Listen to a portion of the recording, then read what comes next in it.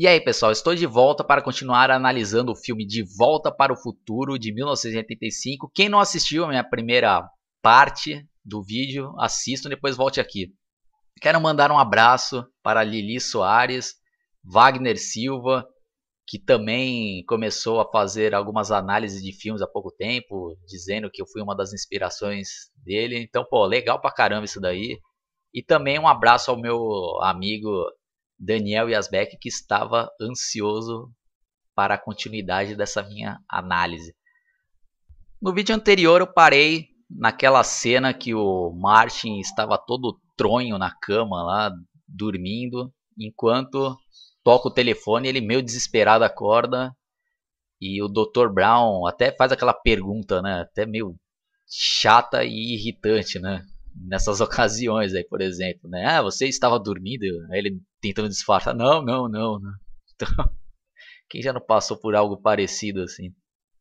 E e o Dr. Brown fala para ele, né, se ele poderia passar antes na casa dele para pegar a filmadora. Beleza, né? Então, depois, na cena seguinte, aparece o Martin chegando de skate no shopping e agora tem uma parte muito interessante que eu confesso que eu também só descobri pela internet, alguém que escreveu isso daí, que aparece o Martin passando em frente a um logo do shopping, né, escrito Twin Pines Mall, que quer dizer Shopping Pinheiros Gêmeos. Então prestem atenção nisso daí, pessoal, nesse detalhe que mais para frente vai ter uma relação bem legal aí com alguns acontecimentos no filme. Então gravem isso daí na cabeça, pessoal, que mais para frente eu vou estar dizendo o que, que é esse detalhe aí que eu estou falando para vocês prestarem atenção. Em seguida, o Martin avista um furgão escrito Dr. Brown Enterprises e ele chega mais perto, encontra o mascote do Dr. Brown, que é o Einstein, um cachorro. E uma curiosidade é que no roteiro original o mascote do Dr. Brown era para ser um macaco, né? Mas os manda-chuvas lá do estúdio não curtiram essa ideia e mandaram trocar. E na minha opinião, acho que foi uma ótima decisão o cachorro ao invés do macaco. Depois a câmera foca na traseira do furgão e começa aquele suspense, né? Tipo de abrindo ó, aquela traseira e, putz, e começa a sair aquele DeLorean, né? E o Martin olhando meio abismado. Né? Aí o carro vai dando ré e para, e finalmente o Dr. Brown sai do carro e nós temos a oportunidade de vê-lo pela primeira vez no filme, que até então só tínhamos escutado a voz dele. E a caracterização desse personagem aí, típica de cientista louco, com aqueles cabelos todo espalhafatoso, né, todo bagunçado, branco, com certeza teve inspiração do Albert Einstein. E o modo de falar, né, todo rápido, né, todo atrapalhado, né? E o Christopher Lloyd aí mandou muito bem na criação aí desse personagem, né? Que querendo ou não, apesar de o cara ler o roteiro, tudo ele dá, né, a cara dele lá e e não tem como também criticar a performance dele aí com esse personagem, né? Eternizou. Aí ele já fala, né? Ah, ainda bem que você veio, Martin e tal. Esse daqui é meu último experimento. É o Martin não entendendo nada, né? Pô, mas é um DeLorean. Ele, não, não, todas as suas perguntas serão respondidas, né? Começa a gravar. Aí ele se apresenta, falando que é o Dr. Brown, que, que é madrugada de sábado, dia 26 de outubro de 1985, a 1h18 da manhã e que era a experiência temporal número 1. Um. Aí ele chama o Einstein e coloca ele dentro do, do carro. Aí ele tá com dois cronômetros, um ele coloca no pescoço do cachorro e outro fica com ele. Ele mostra lá e fala: ah, pode notar que estão em perfeita sincronia, né? O, o meu cronômetro com o dele. E realmente, quando muda 1 e 19 muda certinho né, os dois. Então prestem atenção aí que mais para frente vai ter também algo, uma explicação bem legal. E esse método aí que eles inventaram para para explicar, né, como funciona a viagem no tempo nesse filme é bem interessante. Acho que não deixa dúvidas também, né? Aí ele fecha o carro e começa a controlá-lo pelo um controle remoto, que era bem parecido com os controles remotos dos carrinhos Que quem era criança da década de 80, 90, acho que provavelmente já teve ou pelo menos conhecia algum colega que tinha aqueles controles de carrinho de controle remoto e o controle usaram nesse filme aí é bem parecido com aqueles, né? Só que maior. E não sei, né? Hoje em dia eu tô totalmente por fora dos carrinhos de controle remoto, não sei se os controles ainda são dessa maneira, mas bom, mas enfim, é só uma curiosidade. Aí o Martin tá até filmando o Dr. Brown, ele, not me, the car, the car, né? Então já com aquele jeito dele já característico. Aí o carro vai, tipo, dar uma volta e. E a câmera já foca já no pneu do carro e fazendo outra propaganda, né? Usando aí mais uma vez o método de merchandise, né? Da Good Years, né? E eu mesmo já fazendo aqui esse vídeo, já estou fazendo propaganda gratuita para eles, né? Mas beleza, como eu estou analisando o filme, tem que mostrar isso aqui mais uma vez, né? Aí o Dr. Brown fala: ah, se meus cálculos estiverem corretos, quando chegar a 88 milhas por hora, vai acontecer algo incrível, né? Aí começa a acelerar, né, pelo controle remoto e o carro parado e a roda rodando. Puta, os dois com aquela cara de ansiedade, né, principalmente do Martin, que não estava entendendo nada, né, até então. Putz, aí o carro vem vindo na direção deles, é o Martin porra, vai querer sair de lá, né? Não vai querer ser atropelado. A doutora, não, não, não, fica olhando, fica olhando. Putz, é o carro. Aí, puta, aquela luz lá no carro, né? Putz, aí passa por eles, é aquele fogo assim, né? Embaixo dos pés dele lá, que também é cena clássica do filme, né? E... Aí até o. A... a placa do carro fica rodando. Putz, aí o doutor. Ah! Consegui, não falei, não sei quantos milhas por hora, né? Todo. E o Martin não entendendo nada, né? Vendo aquilo lá. Aí o Martin até pega a placa do carro e ah, queima a mão, né? Porque tá quente. E ele fala: Pô, doutor, você desintegrou o Einstein. Aí o doutor: Não, não. A estrutura molecular do Einstein do carro estão intactas. Aí o Martin, aonde eles estão? Aí o Dr. Brown, ah, a pergunta correta é quando eles estão. E ah, o Einstein é o primeiro viajante no tempo do mundo. Eu o mandei para o futuro. Um minuto no futuro, para ser exato, né? Exatamente a 1h21 e 0 segundos. Deveremos encontrar com ele a máquina do tempo. Aí o Martin, né, pensando que o cara tá louco lá, e fala, não, espera aí, né, Pô, você tá me dizendo que construiu uma máquina do tempo num DeLorean, né, carro. E outra curiosidade desse filme é que a ideia original era que a máquina do tempo seria dentro de uma geladeira, né? Mas eles acabaram mudando essa ideia, com medo, né, das crianças começarem a, a entrar dentro da, das geladeiras de casa, né, pensando que vai viajar no tempo.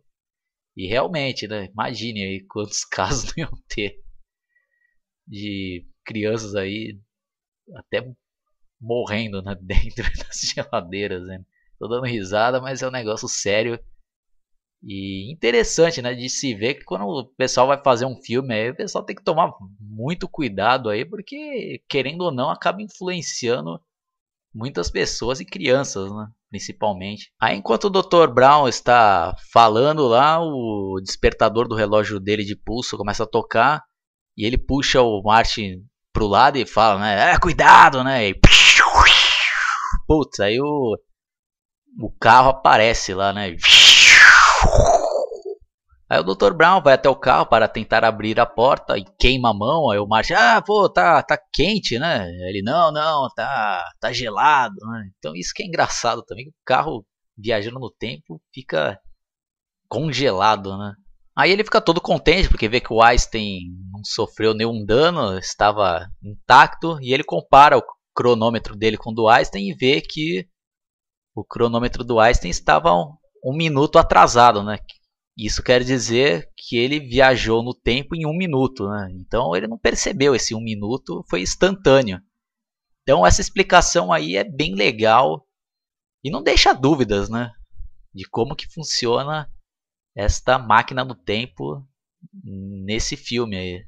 Aí o Dr. Brown chama o Martin para ver como funciona a máquina do tempo e fala: ah, primeiro liga os circuitos do tempo. Aí aparecem os painéis do carro que são bem legais. Isso daí também acho muito bem feito até para os dias de hoje aí convence. Aí uma parte do painel que está em vermelho, ele explica que indica para onde vai, aí a parte em verde aonde está e os caracteres amarelos indica para onde foi a última viagem né, do tempo, lá onde estava. Né? Aí o Dr. Brown dá alguns exemplos né, de ah, se eu quiser é, presenciar o nascimento de Jesus Cristo, é só colocar aqui a data e no ano 0000, ou se não, no dia 5 de novembro de 1955, que é uma data importante para a ciência.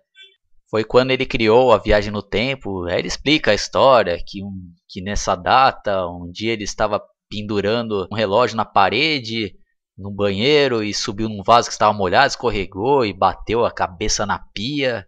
E quando ele voltou a si, ele teve uma visão uma imagem que apareceu na cabeça dele, que era o capacitor de fluxo, né, que é a fonte de energia que ele acabou criando, que é possível a viagem no tempo, né? E o impressionante também nesse filme é que vem uma enxurrada de informações, é, né? Então você tem que assistir várias vezes, e mesmo nessa análise aqui que eu estou fazendo, com certeza vai passar muita coisa aí que eu desapercebido e umas que eu estou deixando passar também, porque senão eu vou fazer essa análise aqui de 30 horas, né? E o Dr. Brown também, nesse meio tempo, ele já aproveita a situação e já joga outra informação, falando que há 30 anos atrás, nesse mesmo local, tinha um cara lá, que eu não lembro o nome agora, que fazia criação de pinheiros, e lembra que quando tudo aquilo lá era terra, Aí o Marty já pergunta, né? Ah, mas como que funciona né, esse carro? É a gasolina? Aí o Dr. Brown, não, infelizmente precisa de algo mais poderoso, né? Plutônio, né? Aí o Marty, né? Wait a minute, né? Tá querendo me dizer que this sucker is nuclear, né? Aí o Dr. Brown, né? Ah, continua filmando, né? Aí explica que o carro é elétrico, mas que precisa de uma reação nuclear para gerar 1.21 gigawatts de eletricidade, né? Aí o Martin, ah, mas não se compra plutônio numa farmácia, né? É, é roubado. Aí o Dr. Brown, né, vê com aquela cara dele lá engraçada, né? Claro, né, de um grupo de terroristas líbios. Aí voltando no começo da minha análise aí, vocês lembram no qual eu falei que dá a notícia no noticiário lá na TV, né, na casa do Dr. Brown, que um grupo de líbios tinha roubado plutônio, né? Então tá aí, né? Eles já estavam já dando essa informação e é confirmada aqui pelo Dr. Brown, né? E que esse grupo de líbios tinha roubado o plutônio, né? E o Dr. Brown tinha prometido fazer uma bomba para eles, mas acabou fazendo uma bomba fajuta e acabou pegando o o plutônio para o experimento dele, né? Que é essa máquina do tempo. E tentando dar uma resumida aqui para não ficar muito longo e chato, né? Demais. Aparece aquela parte do Dr. Brown com a roupa especial, colocando o plutônio no carro e depois dizendo que pretende viajar para o futuro para conhecer e comenta: "Ah, onde eu estou com a cabeça, né? Eu já não ia levando o plutônio para voltar, né? E nesse meio tempo, depois aparece aquela Kombi com os líbios, com uma metralhadora querendo matar o Dr. Brown, e o Dr. Brown pegando a armica dele lá, tentando dar uns tiricos lá, sem efeito nenhum, e o Martin todo desesperado. E o Dr. Brown fala, ah, fuja, né? E, putz, aí até que o Martin acaba presenciando o Dr. Brown sendo metralhado pelos líbios, né? E essa cena é muito bem feita e engraçada. Apesar do cara estar tá sendo morto, é engraçado a atuação do Christopher Lloyd. A atuação dele tomando os tiros e caindo para trás, né? Chega a ser engraçado essa parte aí. Aí uma das salvações que o Marty acaba encontrando é entrar no DeLorean e sair acelerando e tentando fugir, né? Enquanto os caras tentam metralhar e matar ele lá, né? E até que chega a parte lá que o um dos livros pega um míssil, né? E, e quando vai atirar lá, o Martin acaba acelerando com tudo lá e, e acaba viajando no tempo, né? Exatamente para aquela data que o Dr. Brown tinha colocado lá, que era em 1955, quando ele sofreu aquele acidente lá na e bateu a cabeça na pia e teve a visão do capacitor de fluxo. Ah, mas eu não posso deixar de citar aqui a trilha sonora nessas cenas de perseguição, aquela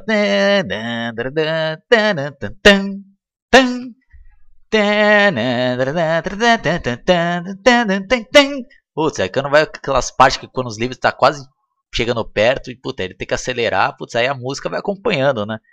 Então é importantíssima a trilha sonora desse filme, né? Até a trilha sonora também tem que receber nota 10, com certeza que faz parte, né? Com louvor do sucesso desse filme, né?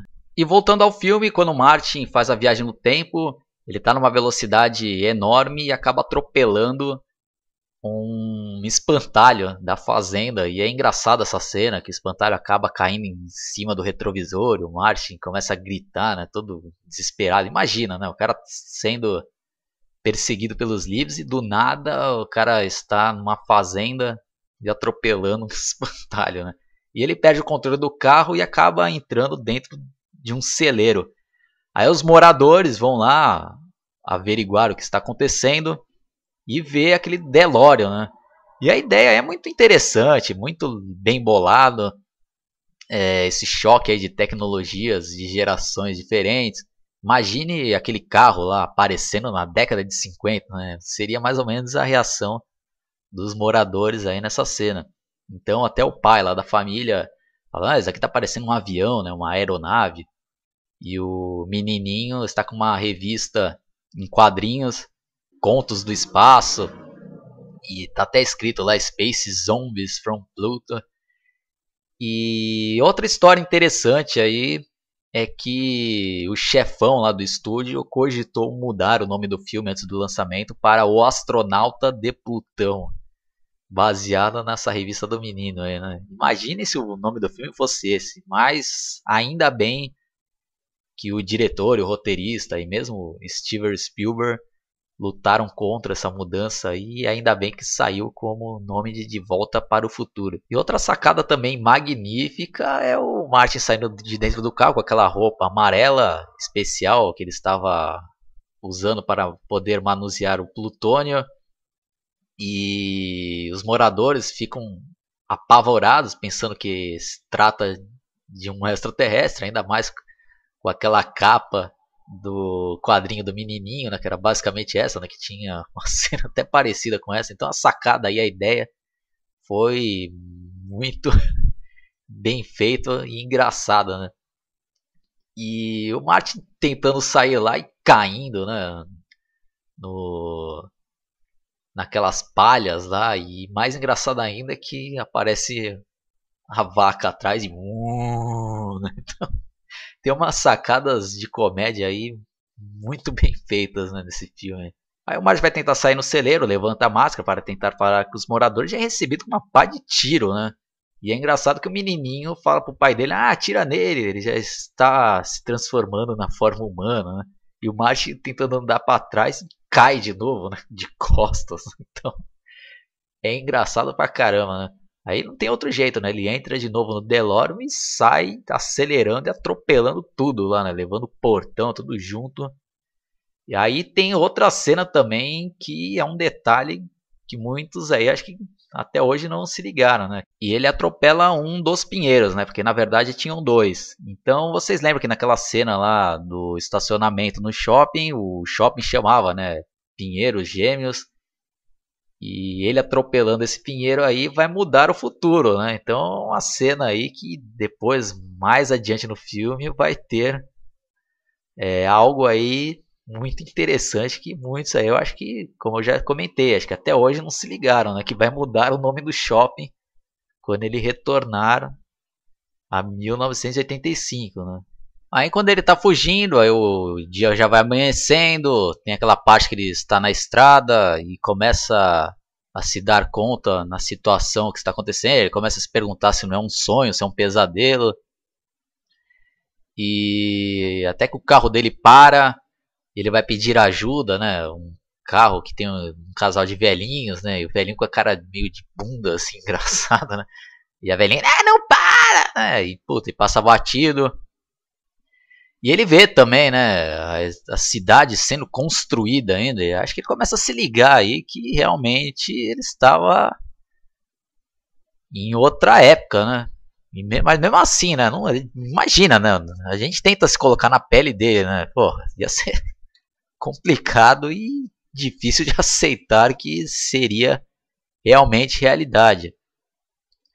Aí ele vê lá, né, que tá sem plutônio o carro, e o carro não pega, e ele acaba escondendo o carro atrás daquela placa lá, daquela propaganda lá falando das casas do futuro. Agora vem uma das cenas mais legais, na minha opinião, desse filme, que mais me marcou nas primeiras vezes que eu assisti, é que a gente acaba se colocando no lugar, né, do personagem, se a gente estivesse vivenciando uma situação como essa, é a parte no qual o Marty está chegando na cidade e começa a observar as coisas, né? Ver as propagandas, os filmes que estão passando no cinema, que estão em cartaz. E uma curiosidade é que tem um filme aí que se chama Calo Queen of Mountain. Então, acho que até hoje eu nunca parei para pesquisar que filme é esse. Então já fica aí, né? Porque eu também nunca parei, fiquei dando pause. Acho que só agora, fazendo essa análise, que eu estou vendo realmente o nome desse filme. Então, quem sabe aí, finalmente eu pesquise e tente baixar aí o filme para conseguir. Porque é outra vantagem que a gente tem atualmente, né? Porque na época lá era difícil achar filme, né? Hoje em dia, só dar uma pesquisada no Google e e ver aí que filme que é. Mas continuando aí a nossa análise, o Marty é quase atropelado por um dos carros, né? Aqueles carros antigos da década de 50. Ele observa também o posto de gasolina da Texaco, outra propaganda e patrocinador do filme, provavelmente. E é legal que eles tentam recriar, né, como eram os postos nessa época, no qual parecia um pit stop de Fórmula 1, no qual os frentistas vão lá, enchem o pneu, verificam o motor, limpam o para-brisa. Aparece também uma loja de disco mostrando os sucessos da época, que era The Ballad of David Crockett. Vou pesquisar também, tentar escutar que música que é essa. E também tem a capa de alguns discos. Tem um molequinho andando com o pai, e esse molequinho parece que tá com um brinquedo aí que devia existir na década de 50, que parecia que tinha molas nos pés, né? Então o moleque vai pulando Parecia molas, né? Eu nunca vi isso daí na minha vida, né? Ele também se liga que o relógio da torre está funcionando e estranha, né? E também vê o carro de propaganda política com outro candidato, né? Então ele já começa a se ligar que, no mínimo, algo está estranho, né? Até que chega aquela cena que o cara joga um jornal no lixo, ele vai lá dar uma olhada e vê que a data está 5 de novembro de 1955, né? Então aí não resta dúvidas que ele realmente tem que aceitar que viajou no tempo e está em 1955, né? Querendo ou não, né? Aí ele acaba entrando na lanchonete e o dono pergunta se ele tinha caído de algum navio e o Martin, né? O, o que, né? Ele, é, por que, que você está usando esse colete aí de salva-vidas? Então, mais uma vez, aí o choque de gerações, de décadas. Então, outra coisa interessante, né? A moda que pode ser o máximo em uma época, em outra pode ser motivo de piada, né? Aí o Marty pergunta onde tem um telefone, o cara, ah, lá nos fundos. Aí ele vai lá, tenta achar na lista telefônica o endereço e o telefone do Dr. Brown, tenta ligar e não consegue e arranca né, a página e volta lá e pergunta pro dono, né, se ele sabe onde fica a rua tal lá. Aí o cara já é mó estúpido, né? Ô garoto, você vai querer pedir alguma coisa, né? Aí o Martin fala: Ah, vou querer alguma coisa dietética, né? Aí o cara também já fica nervoso de novo, né? Você tá me achando um cara de médico, né? Aí o Martin, ah, então eu quero uma Pepsi Diet. O cara, ah, se quiser uma Pepsi, vai ter que pagar, né? Aí o Martin já também já meio nervoso. Ah, só quero alguma coisa sem açúcar, né? Aí o cara, ah, quer sem açúcar, aí pega um café puro, né, pro cara, né? E do lado do Marte tem um outro cara sentado, até que ele escuta alguém entrando pela porta do bar e chamando, né, Hey McFly, e os dois olham, né? E o Marte acaba reconhecendo que é o Biff, né? E o Biff lá, obviamente bem mais jovem, né, do que quando o Marte conhecia ele. E, e o Biff fala, né? O que, que você pensa que tá fazendo aqui, né? McFly, seu inseto irlandês, né? E o cara que estava do lado levanta e fala: É, oi, Biff, como vocês estão, rapaz? É o cara, ô, você já terminou já meu dever de casa, né? McFly. E o Marty acaba se ligando que aquele cara é, na verdade, o pai dele bem mais jovem. E e o Biff fazendo aquelas mesmas brincadeiras que é mostrado no início do filme, né, quando eles já eram mais velhos, né, cobrando o, desta vez em vez do relatório do trabalho, cobrando o dever de casa, né, e fazendo aquelas mesmas tipos de brincadeira, né, de dando gravata no pai dele, dando os croques na cabeça, né, hello McFly, né, tem alguém aí, e os caras tudo tirando sarro. E o Marty só olhando espantado, né? Até que o Biff se irrita e olha para ele e pergunta, né? What are you looking at, Budhead? Né? Então, traduzindo, né? O que você está olhando, né?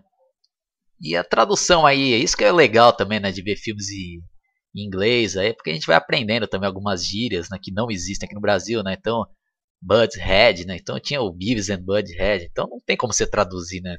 Traduzir o que? Cabeça de bunda, né?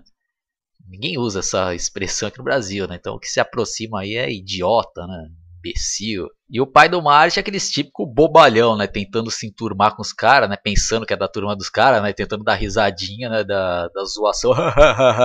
e logo em seguida o cara já é zoado novamente, né?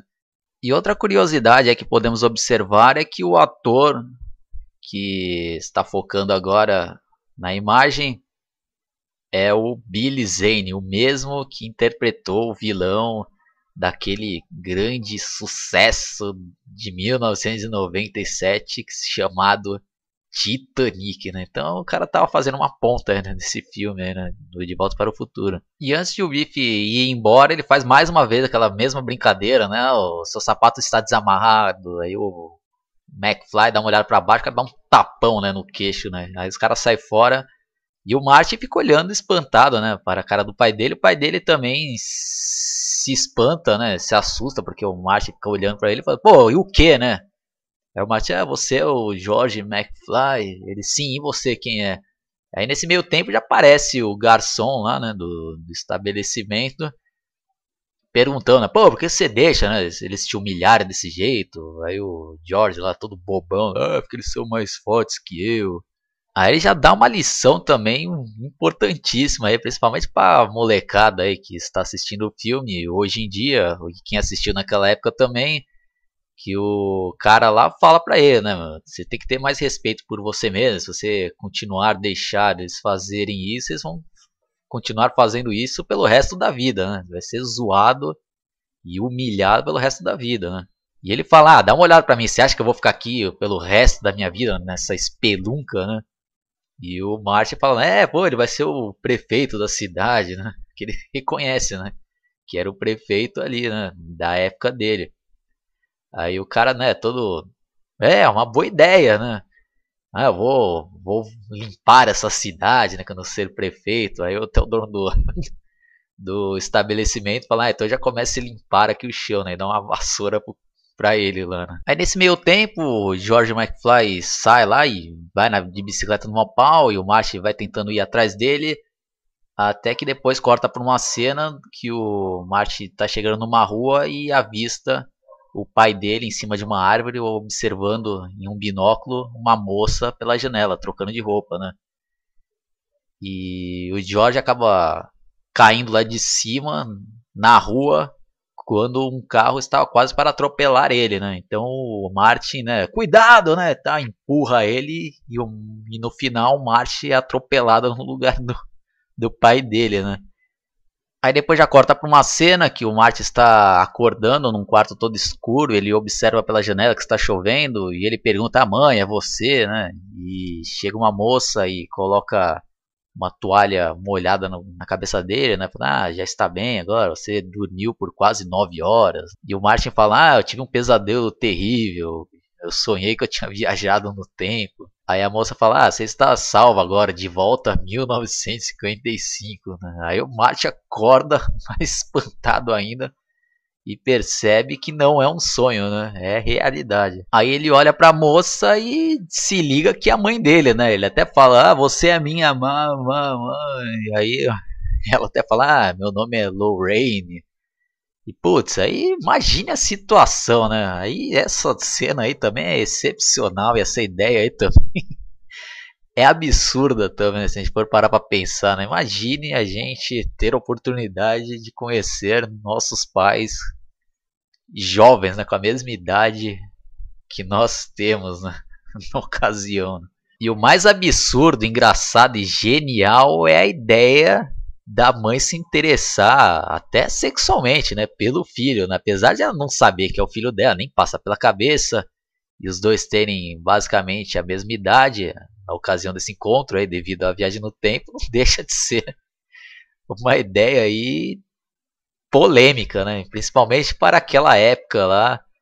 E quando eles escreveram o roteiro, eles ofereceram para vários estúdios e, se eu não me engano, a Disney recusou ou queria mudar essa ideia, queria retirar isso daí, porque eles são conservadores e não queriam colocar essa história aí, né, de ter esse relacionamento aí, né, entre mãe e filho, né?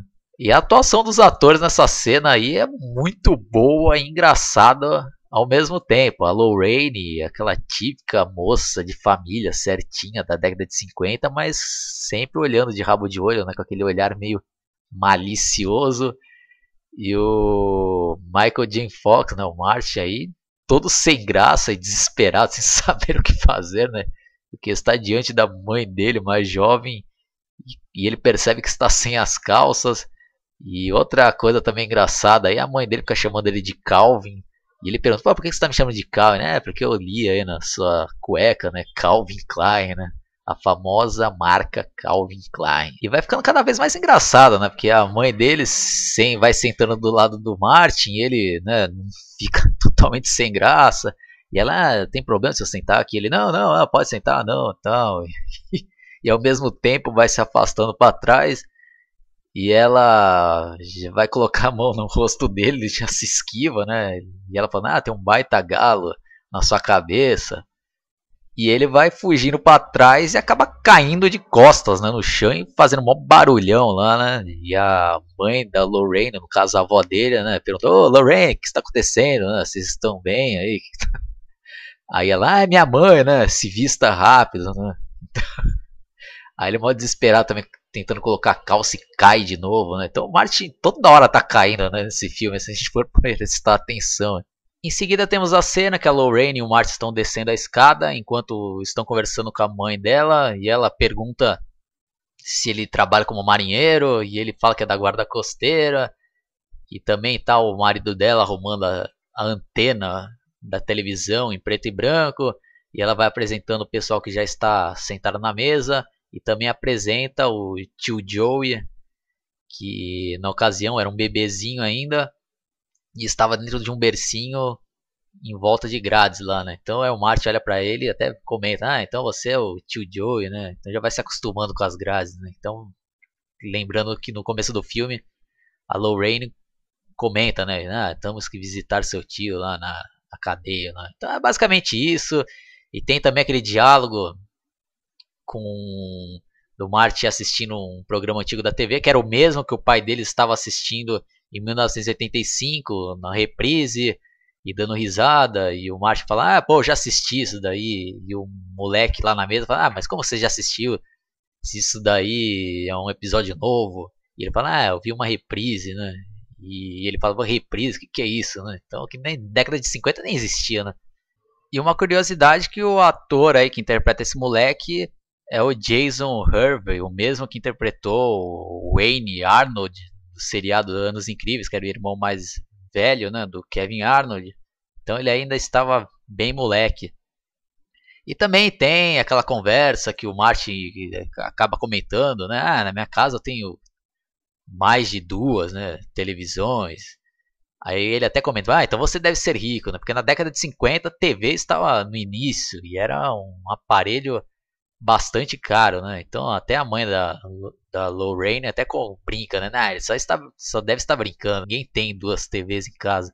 E é basicamente isso daí, aí tem a conversa e também a Lorraine continua dando em cima do Martin, até coloca a mão na perna dele e ele arruma um jeito de sair fora de lá, né? E depois que o Martin vai embora, tem um diálogo também sensacional, né? E cômico. A, a, mãe da Lorraine comenta, pô, que rapaz estranho, né? Aí o marido dela é um idiota, né? E, e até comenta, né? Lorraine, se um dia você tiver um filho como esse e agir dessa maneira, eu, ah, eu vou te deserdar. e mal ele sabia que realmente era o filho da própria filha dele, né? do futuro, né? Então, hoje em dia já é meio normal porque a gente já viu esse filme milhares de vezes, né? Mas tenta parar para pensar nessa situação, né? Aí na outra cena, o Martin vai lá tentar achar o Dr. Brown, bate na porta da casa dele, ele abre e, e já puxa o Martin lá para dentro e fala: ah, não me fale nada, né? E ele, ah, Doctor, não, não, não fala nada, não quero saber seu nome, não quero saber nada, né? E pega um, um equipamento lá, coloca na cabeça dele e outro, aqueles bagulho parece de pressão, né? De prender guardanapo na, na parede, né? Aqueles de pressão e paft na testa do Martin e, e fala, ah, vou ler seus pensamentos. Aí ele fala, ah, você veio de um lugar distante, né? Aí ele, sim, é, na verdade. Aí ele, não me diga. Né? Ah, você quer que eu compre uma assinatura do Saturday Evening Post, o jornal? Aí ele, não, não me fala nada. Ele, você quer que eu faça uma doação para a guarda costeira juvenil, né? Outra piada aí com o, o colete que parece de salva-vidas, né? No Martin. Acho que é a terceira já, né? Nesse filme. Aí o Martin tira o negócio da testa dele e fala: Doutor, eu vim do futuro, né? Numa máquina do tempo que você mesmo inventou, né? E agora eu preciso que você me ajude a voltar ao futuro no ano de 1985, né? E o Dr. Brown com aquela cara de espanto, aí ele falou, oh my god, sabe o que, que isso significa, né? Que essa minha invenção não funciona, essa porcaria aqui não funciona, né? No caso, a invenção de ler pensamento, né? A Martin, não, você tem que me ajudar, né? Você é a única pessoa que sabe como funciona a máquina do tempo. Aí o Dr. Brown, ah, máquina do tempo, ah, eu não inventei isso. Aí o Martin, ah, tudo bem, eu vou provar que eu vim do futuro, né? Dá uma olhada aqui na minha carteira de motorista, vence 1987. E olha a minha data de nascimento, nem nasci ainda. E olha essa fotografia, né? Meu irmão, minha irmã e eu. E olha o moletom dela que tá dizendo que é da classe de 1984. Aí o Dr. Brown pega a foto, dá uma olhada e, e fala, né? Isso daí é uma falsificação medíocre. Olha o cabelo do seu irmão, está cortado. E o Martin insiste, né? Ah, doutor, você tem que acreditar em mim. Aí o doutor lá, Brown, é, fala: Ah, tá bom, garoto do futuro. Então me diga quem é o presidente da República de 1985. Aí o Martin, né? Ronald Reagan. Aí eu o doutor lá, Ronald Reagan, o ator. Então quem é o vice-presidente? Jerry Lewis? Então... então é engraçado, né? Porque ninguém imagina às vezes né, as coisas, né? Que nem se chegasse na década de 80 e falasse que ah, quem vai ser o, o governador da Califórnia e falasse Arnold Schwarzenegger, acho que muitos iriam dar risada e foi o que aconteceu no futuro, né? Aí o Dr. Brown sai correndo lá e tirando sal do Martin, falando que ele está contando várias piadas, que não aguentava mais essas palhaçadas dele, e vai lá para um outro cômodo da residência dele e se tranca lá e o Martin fala: "Ah, não, espera, doutor, eu sei como que aconteceu aí esse galo na sua cabeça". Aí ele conta a história, né, que no que naquela parte do filme lá quando eles estavam fazendo a experiência no DeLorean, ele tinha contado lá, né, como que ele inventou o capta, capacitor de fluxo, que ele estava um dia no banheiro e acabou escorregando e batendo a cabeça na pia, né? Então aí Dr. Brown realmente viu que que poderia ser verdade isso daí e abre a porta, né, espantado. Aí já corta pra cena que eles estão indo lá no lugar onde o Martin tinha escondido o DeLorean e o Dr. Brown lá todo espantado, né? E confirmando que as histórias do Martin eram verdadeiras. E o Dr. Brown até mostra, né? Ah, esse daqui foi o desenho que eu fiz, né? Coisa, do capacitador, né? Capacitor, né? Então, aí o Marge até abre o carro lá e mostra, ah, tá ali, né? Aí ele fica todo contente, né? ah, pô, consegui, finalmente, né? Uma invenção minha que deu certo. Aí eles carregam o carro lá, né? Pra casa do Dr. Brown. Aí já corta novamente para outra cena no qual o Martin está ligando a câmera de vídeo da JVC na televisão em preto e branco, né, na década de 50, e é uma cena bem legal, né? E o Doctor olhando espantado a tecnologia, né, do futuro, né? No caso, essa filmadora, né? Então ele acha legal pra caramba, ele até comenta, pô, isso daí parece um um estúdio de televisão portátil. Aí ele olha a imagem dele mesmo, né? Só que ele até comenta, pô, olha eu, sou um velho, né? E pô, imagine também, né? Se a gente tivesse a oportunidade de ver assim uma filmagem nossa mesmo do futuro, né? O doutor ainda fala, né? Pô, graças a Deus ainda tenho cabelo. E ah, o que, que é isso que eu estou usando? O que, eu estou vestindo? Aí o Marcio explica, né? É uma roupa para proteção contra a radiação. Aí o doutor espantado novamente, pô, radiação, ah, claro, né? Só pode ser o resultado das guerras atômicas. Então, na década de 50 tinha todo esse medo aí. Ele já estava imaginando que na década de 80 o negócio já tinha. O bicho já tinha pegado. Né? Aí o Martin adianta um pouco a fita e mostra na parte que, que ele lá no futuro está explicando né, que o carro é elétrico, mas só que precisa de uma reação nuclear para gerar 1.21 gigawatts, né? Aí até o Dr. Brown aí do passado fala, ah, o que que eu disse? Aí ele volta a fita e ele fala, pô, é impossível, né? Gigawatts, né? Putz, ele fica todo desesperado, vai para outro quarto lá da casa e o Marty sem entender nada, né? Não tem nem noção, né, do que que seria essa quantidade aí, né? E outra coisa interessante aí nessa cena é que o Dr. Brown, durante mesmo o filme, ele usa uma expressão lá, né? Great Scott. E na legenda os caras traduzem como Nossa Mãe. Pô, não tem nada a ver, né? Mais um exemplo aí que às vezes tem que fazer adaptações na dublagem. Dublagem, né? mesmo nas legendas, né? Porque o cara vai falar grande Scott, né? Vai ficar meio sem sentido assim, né? Pra nossa realidade brasileira, né?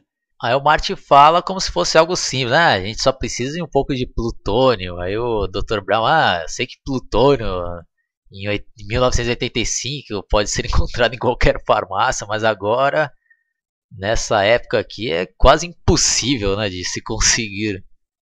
Infelizmente você está preso aqui em 1955.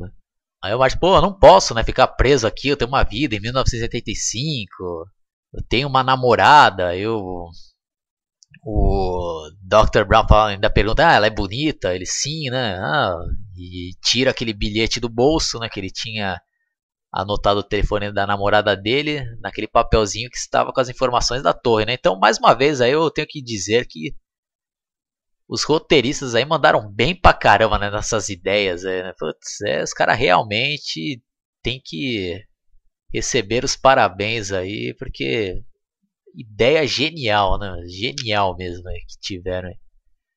É, o doutor até fala, pô, me desculpe, Martin, mas a única fonte aí capaz de gerar 1.21 gigawatts de eletricidade seria um raio, né? E um raio a gente nunca tem como prever, né? Aí o Martin já lembra das informações lá, né? Que tinha caído um raio no relógio da ponte.